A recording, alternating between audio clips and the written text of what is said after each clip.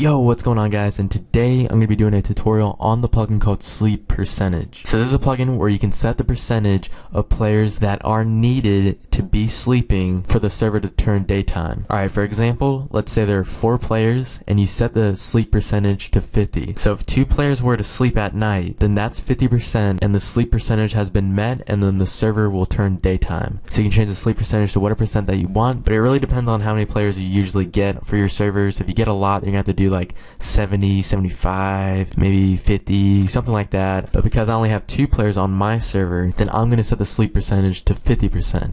So it'll only take one person to sleep at night for it to turn daytime. Okay, so just type command slash sp set, and then here's where you type the percentage in. I'm going to type 50 and hit enter. So now the sleep percentage has been set to 50. I have two players online, so if one person sleeps, then it'll turn daytime. Bam, already daytime. I'd even have to lay down in bed. So that's really useful for your server if you have a lot of players that don't like to sleep or who are down far deep in mines, but there are other players who want it daytime. So it's a really cool plugin, a really useful plugin, and hopefully you guys download this plugin. And if you like this tutorial, make sure to drop a like, subscribe for more plugin tutorials, and I'll see you guys next time. Peace out.